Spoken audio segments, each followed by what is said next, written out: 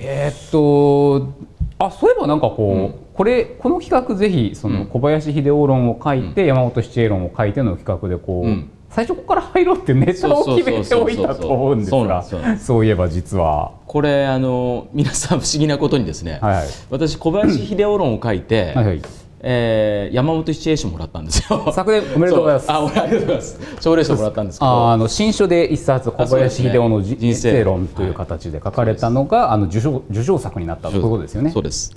で前々からあの与那さんと喋ってる時に山本七恵についてのなんとかなご関心がすごく高いなっていう感じはしてたんですけど、で実際今回お書きになったという与那さんがですね あの小林秀夫賞をまあ、お取りになってると。はい。あの斉藤玉木先生との共著で2020年にいただいたことがあるんですけどなんか微妙なそう。互い違い食い違いみたい何なんなだこれはと。ものがあったわけなんですけれども、まあ、世代的に言うと小林秀夫はえっと1901か02かそれぐらいの生まれですよね、うんうん。要するに。そうですそうです。山本茂が21年生まれだと思うので、こうちょうど20ぐらい違うっていう形であるわけなんですけれども、あの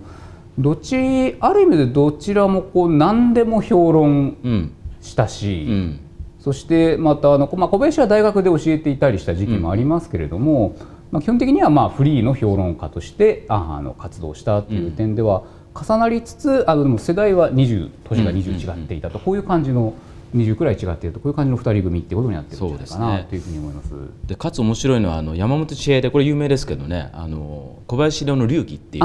本があのるじゃない文春学芸ライブラリーから復刊されてますよね。そうそうそう。まさに文春で復刊されてますけど。でもあれを見てもですねやっぱ小林秀夫のことをどれだけだから山本が意識していたのかというのがもう如実に分かるような文章ですけどそういう意味じゃ2人の関係って実はあんまり関係ないように見えながらん。相当深いところでつながってたんじゃないかという議論もできるのでね。今日はちょっとそのあたりも含めて楽しみにしてぜひぜひ掘り下げていきたいなはいというふうにこう思っております。どうしましょうか。まずちょっとあのあの僕のあの小林秀夫と文藝春秋かな、はい。がこれなんですね。こちらの号。2022年、まあ、去年ですね。の10月号なんですね。で、えっと、与那さんのやつがこれ2023年のつまあ、今年の今年の1月号が去年の12月に出たと。こういうやつですよね。こうあまりにも分厚いので 100周年記念これすごいんですけど。なんかお弁当箱みたいだとか結構いろいろ言われているらしいですけれども。なので、まあ、一応僕あの与那さんのものを拝読してきたのでちあょっとお互いに感想戦からそこから行きましょうか。始めてもいいんじゃないじゃあかなとそこから行きましょう。思ったんですけどどうしましょうか？どっちから行こうかな？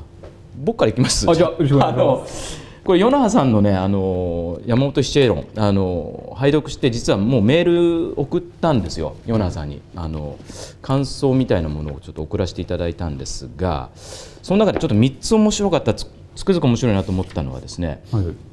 ちょっと僕はあんまり山本七恵の人生についてあんまり意識してなかったんですけど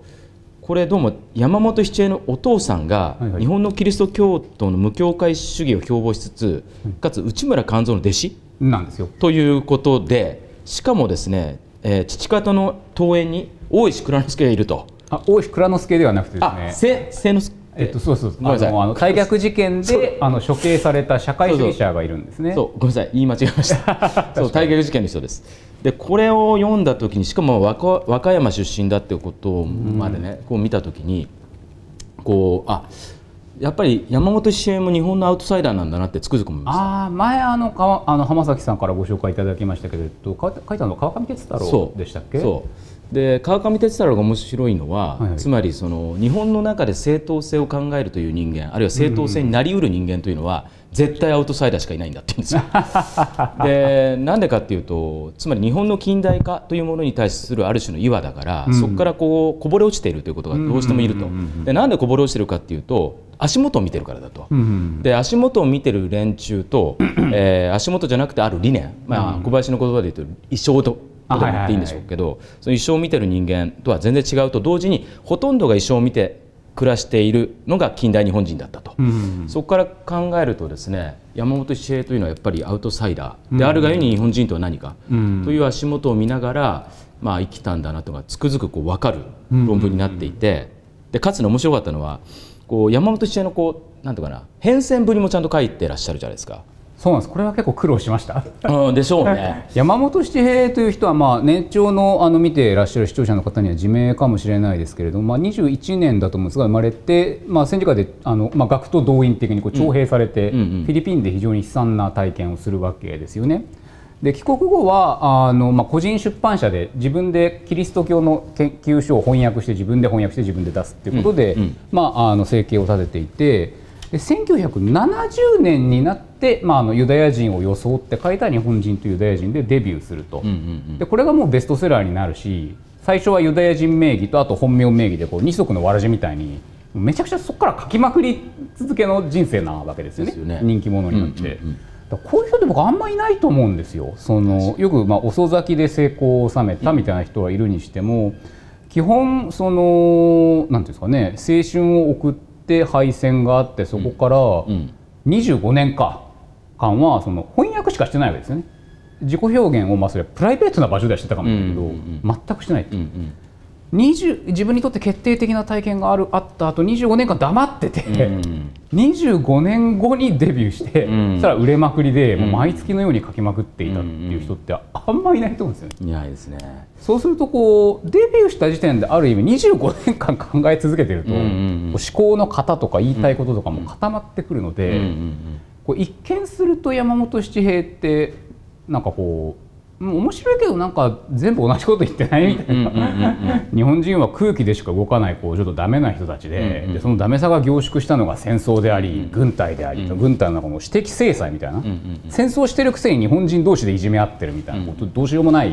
人たちなんだみたいな,、なんかそればっかりいろんなこと言ってる。いろんな風に書くけどそれこそ衣装はいろんな当時の時事ネタとかを織り込んで書いてるけどメッセージは全部同じじゃんみたいにこう思われがちなところがあったと思うんですけどでもそれでも丁寧に読んでいくと70年のデビューから後でも変化は実はあるんだっていうのはあの書いて伝えたかったことなので、うんうんうんあのそこを読み取っていただけたのは大変嬉しいです。いやそこが非常に面白かったですよね。でもう少し感想を言うとですねこれ今の例えば与那覇さんの説明の意味だけ切り取るとですね、結構これ丸山正なんかと似てくるわけですよ。なるほどなるほど。なんだけどもそれも与那覇さんはちゃんとこう指摘してて、丸山とは違うと。うんで面白いのは丸山はやっぱりこう、まあ、簡単に言うと上から目線で まあそれはそうです。その啓蒙主義者として振る舞振る舞ったと、で山本がなんでそういうまあニュアンスを僕らが受けないのかうんというところに与那さんがね面白いこれは僕本当に気づかなかったけど、うん面白い視点をこう入れ込んでいてそれがね伝道なんですよ。あはいはいはい。でねやっぱりそれはキリスト者だってことなんでしょうけどということはキリスト者っていうのは別に高みに立ってあの愚民たちを見下ろせばいいっていうだけじゃなくて やっぱり彼らに布教しなきゃいけないから、うん。それが自分の運動であり自分の使命であり自分の実践だということが前提になってくるから、うん。とねどうなるかというと語りかけ説得するってことはある種の愛情表現なんですよ。うん。そうすると愛情表現の中で日本人という、まあ、キリスト教から最も遠い、うん。そのある種の民族、まあ、自分もそうなんでしょうけど、うん。そのお人間あるいは自分を取り囲んでいる共同性に対してどう自分がコミットし彼らと愛し合うことができるのか、うん。というところでもちろん最終的にね抱き合うまでいったかどうかわかんない。けどもとはいえ和解をすると、うんうんうんつまり日本人とはこういう民族であると。うん。いうことの自覚の中に静かに立っていくっていうのかな、うん。それが最後の晩年のあたりに出てくるっていうのがね非常に感動的でした。昔だからちょっと今の話で思い出したのはあの小林がねこういうことを言ってますよね、はい。あの世捨て人というものはいないのであると、うんうん世に捨てられた人がいるだけだって言うんですけど。あ なるほど。厳しい。だからね結局世ってやつが、まあ、読者だとかね、うん。うんまあ、現実的ある共同性を営んでいる、うーある状況だとした時に、その中で追い育っている私たちが何ていうかな、まあ、努力して彼らにものを伝えようとしている限りその愛が伝わっちゃって、うん。ある程度までまあ関係性をつなげるんでしょうけど、うん。そうじゃなくなった時に多分これが今のアカデミズムの問題だと思いますね。ん。もう完全にそれは閉じこもっちゃって世に捨てられるわけですよ。ああ確かにそうなんですよね。うん。あのそうなんかよすよ捨て人集落に確実になってますよね今の大学生。そうなんですよ。平家の落ち武者村とかああいうのを思わせるところがあるなって そうそう気がするんですけどね。そんな感じがしますね。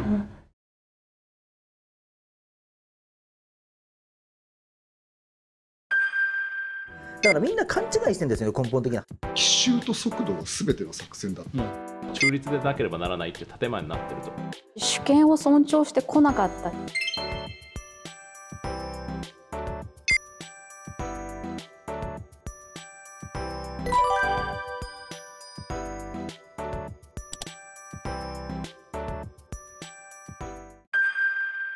だからみんな勘違いしてるんですよね根本的な。奇襲と速度が全ての作戦だ中立でなければならないって建前になってると。主権を尊重してこなかった